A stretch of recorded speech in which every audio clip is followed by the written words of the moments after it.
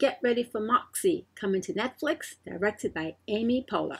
Fed up with the sexist and toxic status quo at her high school, a shy 16 year old finds inspiration from her mother's rebellious past and anonymously publishes a zine that sparks a school wide coming of age revolution. Can I sit with you guys? Yeah, sure.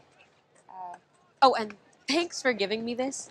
I really needed a sign from the universe that there were actual humans here. What is that? Uh, I don't know. I, I found it in the girls' bathroom. it's a zine. In the Bay Area, there are tons of them at shows, but it's the first time that I've seen one here. Sorry, we are not the Bay Area.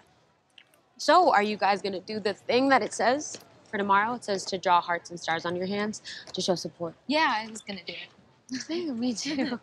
Why? What do you mean, why? Oh, I mean, like, what's the goal?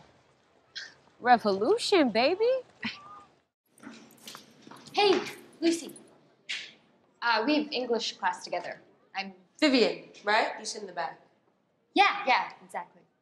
Look, I just wanted to say, ignore Mitchell. Why should I have to ignore him? Why can't he just not be a dick? He's an idiot. He has been since the second grade. He's dangerous. I don't think he's dangerous. I think he's just annoying. You know that annoying can be more than just annoying, right? Like it can be code for worse stuff. If you keep your head down, he'll move on and bother somebody else. Thanks for the advice. But I'm gonna keep my head up. High. See you in class.